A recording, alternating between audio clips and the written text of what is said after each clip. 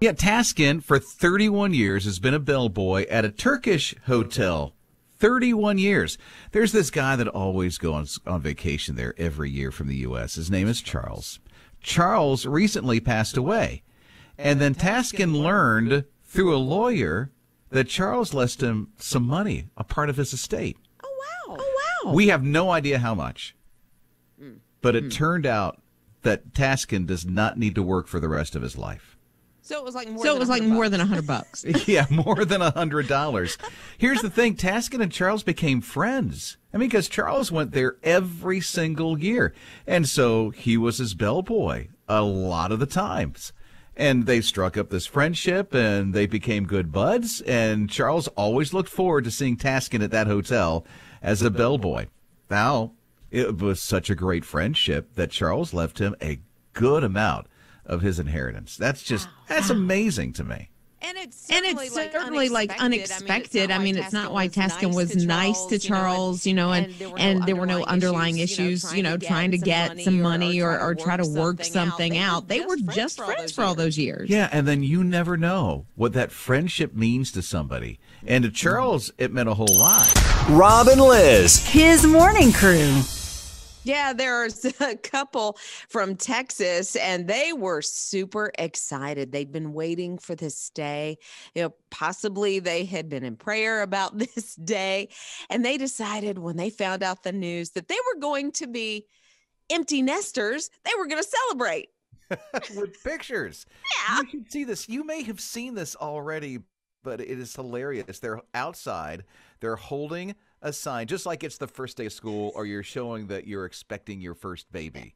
And on the sign, it just says, expecting zero kids, due date August 2021. B Photography shot this and they put it all over the, the social media, and it's it's the funniest thing to see. It is hilarious. It's like a maternity shoot, which I know a lot of couples are doing these days. Um, and it's it's exactly like that, where you have different poses and you know peering into each other's eyes as you're so looking forward to the next step of your life. And they're like, "We are done." Their kids are out of high school and out of the house. Now, I don't know how they were able to celebrate like that because honestly, when my kids started going to college, I was crushed. I'm like, oh my, I was like sad. I wasn't celebrating. No, and especially when your youngest goes off to college, you're like, "Ah." but maybe Don't they had talk like about that now. I I know. still have one left. Maybe they had like six kids and they were just done. Rob and Liz. His morning crew. So it's kind of ironic right now that the FTC or the Fed- Federal Trade Commission is now investigating said McDonald's ice cream machines. Yeah, they're trying to figure out okay, so what's going on because evidently, and there's even an app. I don't know what the app is called, but I know that there is an app where you can go on and you can see if the McDonald's near you has their ice cream machine up and running. so, like, it's kind of a thing. And so the Federal Trade Commission wants to see, you know, is it with the supplier? Is it with who is taking care of the ice cream machines or where the issue is? I've never had that happen. Although I will have to admit, I haven't been to a McDonald's but maybe a handful of times in the past 10 years. Now before that it was all the time. I was a really big guy. But but I've never had anybody ever tell me the ice cream machine is down. Well, no, I'm on the flip side of that. And I'm not saying it's all the time because it's not.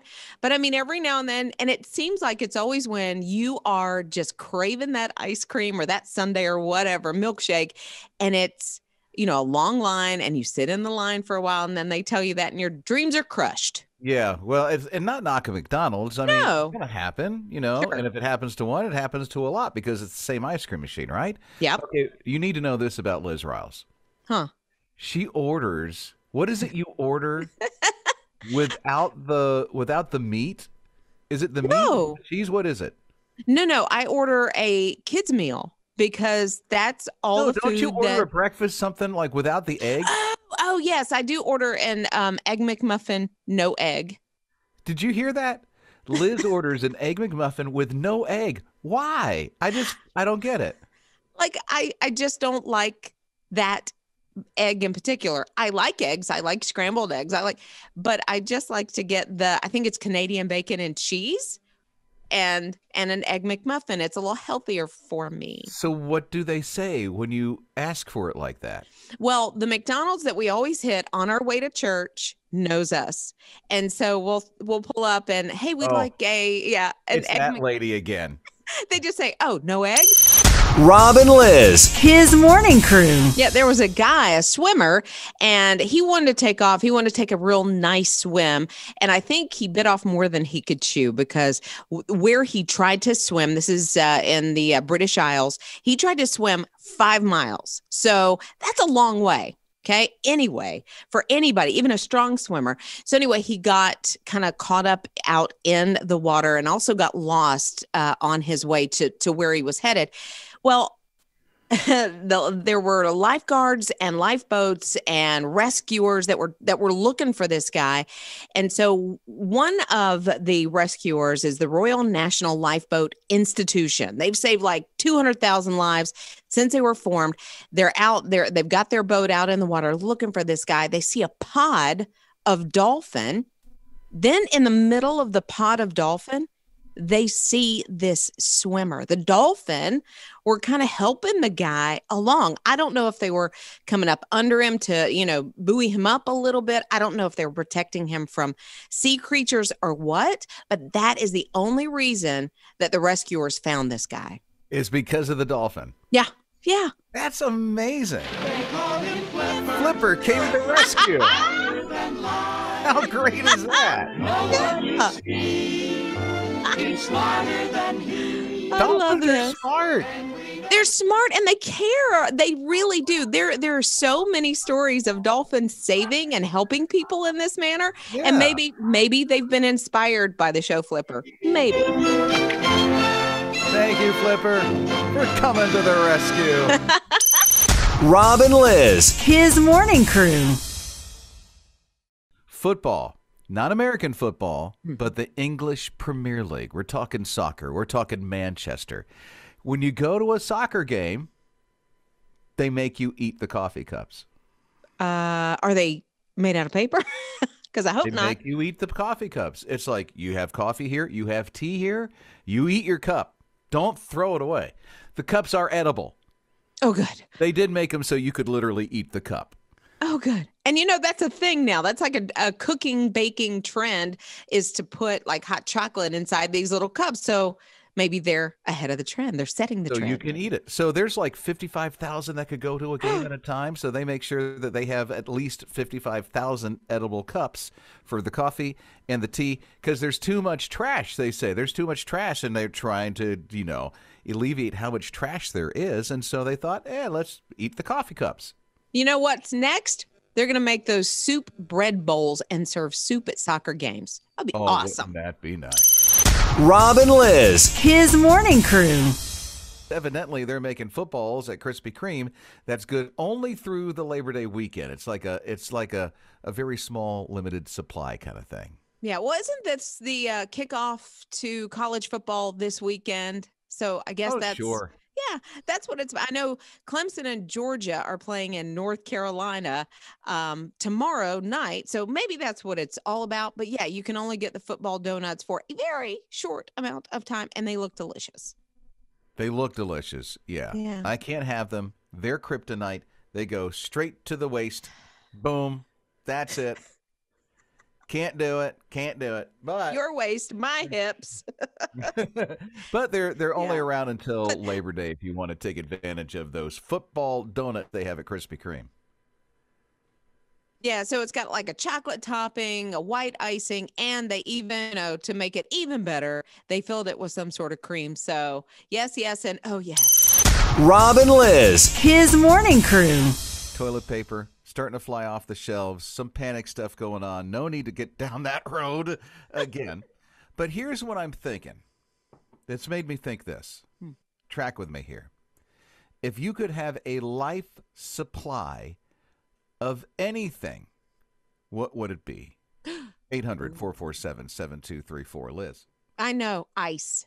Ice, a certain uh, kind of ice. It's not actually a cube, it's more of a square. It's a certain type of ice. I would love to have a lifetime supply so I never have to go on the hunt for it. Is it the shape of the ice? I mean, what's so special? it's sort of the shape of the ice, but it's also hollow on the inside. I'm an ice cruncher, and so it's easy to crunch and just the texture. I don't know. I love it. And so I want a lifetime supply. Oh, please. Oh, please. Oh, please. You kind of do in your fridge. Yeah. No, no, no, no, no. It's those long, like, I don't even know what the shape is, almost like a crescent moon. Don't like it. Too hard. Don't like it. You're talking about your ice. Yes, the ice. Do you have the little squares? Me, uh, well, my ice is square. Your ice is square, but is it solid or is it hollow? It's solid. Oh no, I want it Ice. hollow. It's ice. No. Well, No, I'm it's sorry. not you ice. Won't like my ice if you guys ever come over to our house. Oh, I'm so sorry. I'll bring my own. Oh, Ron's here at 800 447 7234.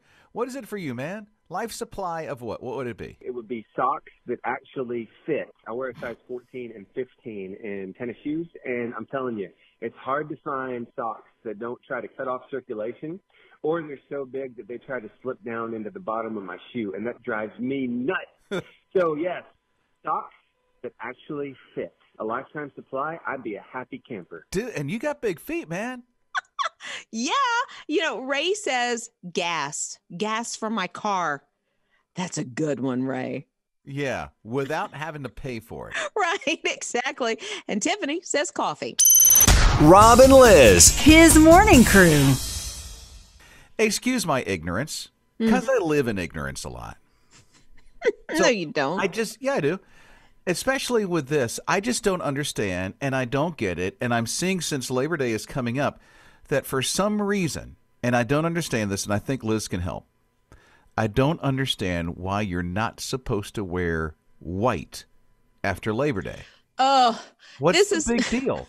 it's like an age old question, but honestly, I think you'd have to maybe ask a grandmother or a great grandmother that question? Because this thing started like way back 1800s type stuff. And what it was is the wealthy people were trying to separate or distance themselves from the not so wealthy people. And so there were these fashion or etiquette rules that they placed out there. And one of those was to not wear white which is a summertime color i guess is what they were saying after labor day Okay, The- so listen, it's 2021. yeah Um, okay. most people do not follow this, but there are still some people that will say, "Oh, you can't wear." I mean, my mother or grandmother maybe would say that you can't wear white after Labor Day, and I'm like, um, "I'll wear white and linen because linen is also a thing." Uh-huh. Like after Labor Day, you know, in the fall or the winter, you shouldn't wear linen, but if they're comfortable and they look nice, I mean, linen. Yeah. Who's Becau- who's wearing their bedding? Oh my What? goodness, you don't have any linen shirts. Mm, no, that- that's cotton, the fabric of your life. That's what I wear. Well, but linen is a very, especially coming from Florida, like you uh, are, you know, you came from Florida, you would think that Yeah. you wore linen a lot around the beach. No, I wear a bathing suit. Okay. Even into restaurants. I gotcha. Uh, yeah. Although you have to wear a shirt and shoes. Yeah, exactly. Rob and Liz. His morning crew.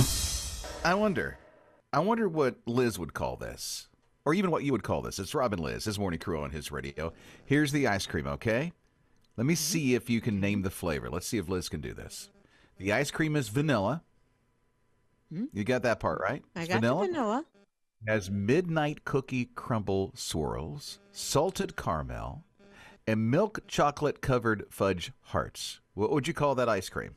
No, Saturday night. Um, no, I left my heart in cookie crumble because they're always really cheesy sounding. Uh, this is Tyra Banks. She owns an ice cream company. She does. I didn't know this. Yeah. And so this flavor happens to be based off of Lionel Richie. And it's called All Night Love because I guess you can eat this stuff all night. Oh my goodness. Uh, okay, there's a couple of things that are weird with that. Tyra Banks, America's Next Top Model and Supermodel, owns an ice cream. Like, is it one of those that has no sugar or no fat? Oh, I have no idea. I just know it's ice cream. Oh my goodness. Well, I guess not if it has milk chocolate covered. Yeah, I know. That's why I was just putting that together. But, huh. Okay.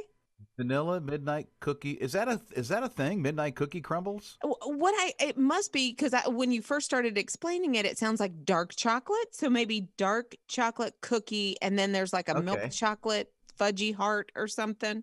And you got salted caramel, and then the milk chocolate covered fudge hearts. That's Yeah. a lot of that's stuff. That's a lot of stuff thrown into some vanilla ice cream.